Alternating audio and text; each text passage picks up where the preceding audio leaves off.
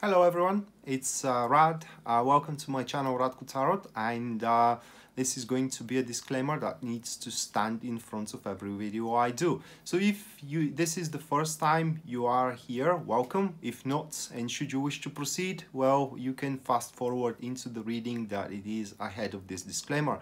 But as a disclaimer, I need to advise you that this is a, a general reading um, of the representative star sign. And for that reason because tarot is very personal divination tool and does require narrative which in personal readings appear to be your question or the situation that you are describing uh, the, the general reading may or may not resonate entirely with uh, with your situation. And if it resonates that great. If it doesn't i do apologize for that. But i'm yeah, and I wish you the best, you know, with with the situation that you're trying to cope with. But um, if you wish to proceed with the um, personal readings or uh, you wish to follow me on Facebook or on YouTube, you know, all, of that, or visit my website, all of that is going to be written in the description box down below.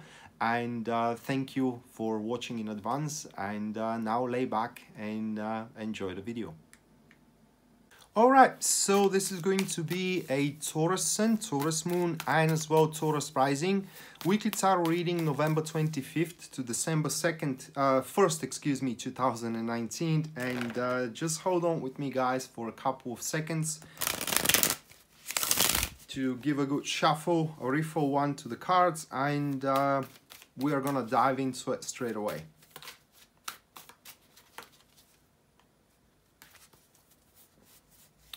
Alright, so the first card which will represent the topic of uh, the week for you Taurus is going to be the Queen of Wands. Followed by the second card which represents the challenges that you will have to overcome throughout the week, we do have the Empress card. Followed by the third one which, oh look at that, so standing as a positive aspect of the week, that will be the Tower. And the final one which will represent the uh, guidance that Tarot is offering uh, wow, man. I mean, you you really have this one. Uh, that will be the world. So, um, well, where do I even begin with? Or what do I even begin with here? Uh, that, that will be quite severe week for you guys. So uh, let's start with the Queen of Wands as per usual. So that will be the topic. And... Uh, it's catalyzed here by the temperance card so we do have an active supporter into this position. And that is a person who just found the, it's their way to your heart if you will or to your predisposition. Because it could refer to business as well right? But the point is it is that this queen found just the right measures or it has the right measures to enthrall to to enthrall you right? Enthralling you with the uh, with the ability to see the positive and the negative aspects of your character of your behavior if you will of your life as well and has no problem with either of them. That's the best thing. And uh, together actually depending on what kind of a situation this uh, queen manifest itself that's a person all right you can have really really good time together because the queen of wands is usually a person who really has that knack of life. It knows how to enjoy in general but it is also a, a very attractive or attractive person. Yeah i mean a handsome person all right? And on top of it it does have a an, an acute business sense. So it can go either way. And the best thing with the temperance it is that this queen or that person never goes extreme. It never goes into rampage or it never goes into a state where they don't give a damn, all right? And they always keep up this kind of like a, a pace where everything magically happen as they perform into it. So bottom line here, what is going to be uh, its um, its influence. What is the reason the Queen of Wands to come into your life? Well, that is, or in this uh, week, well, that is hidden in the next cards. And um, long story short uh, so you can fix something that's the whole thing you it may be so you can fix your love life it may be so you can fix your career life all right or maybe so you can fix uh, your a social circle it is about fixing something something that maybe you gave up on it for a, quite of a, a long time. Unfortunately the process is not gonna be easy on you guys and that is shown here into the second one which is going to be the empress. That is the challenge that you will need to overcome uh, catalyzed with this six of swords.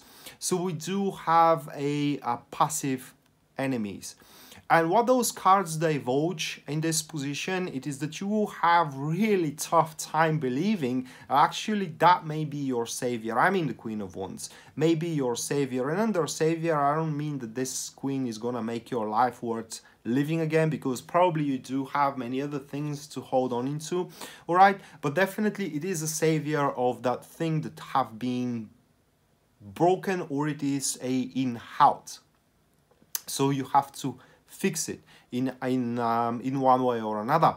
And the difficulty is going to be you uh, making the con- the conscious excuse me mature decision to try it out. Maybe you got sick of it maybe you don't want to suffer anymore because that thing is related to i cannot say really suffering but it is more like a throwing your, yourself a little bit outside of your comfort zone. It's always when the empress comes into the uh, into the challenging position it always relates to that. And as you throw yourself a little bit outside of your comfort zone then you may kind of like have that difficult time to make a well-found decisions mature kind of a decisions uh, important thing to be acknowledged here with these two cards, however, Taurus, is that whatever you sown throughout this week, guys, it is yours to reap either bitter or sweet. So do not make any irrational judgments, any irrational decisions.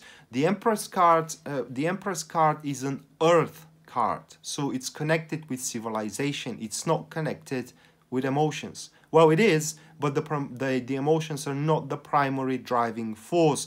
Therefore, you have to think about how comfortable you are to be um, after the process is finished instead of how good you are going to feel at the moment right? That that's that's the main thing here that you need to think of.